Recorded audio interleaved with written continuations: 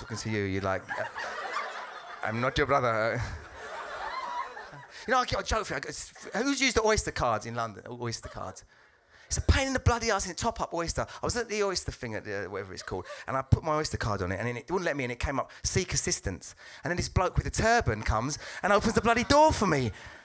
I'm like, bloody hell, that's amazing. Seek assistance. It's bloody. I said, you spelled seek wrong, mate. It's wrong. You can't spell it seek like that. It's like, I thought that was, I thought that was good. That's just my brother. Come on, brother. He's like, I'm gonna kill you, motherfucker. I'm gonna kill you.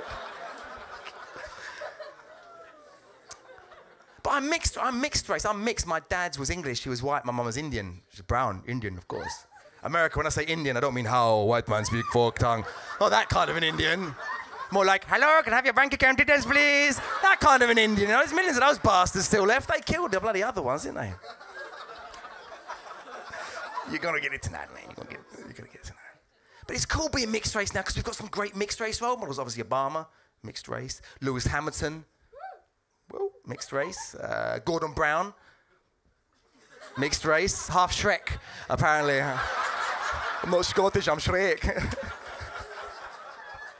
he met Obama, didn't it? Obama's like, hey, Gordon, how you doing? Gordon's like, donkey, is that you, donkey? you donkey. Hello, donkey, it's me, Shrek. Shrek.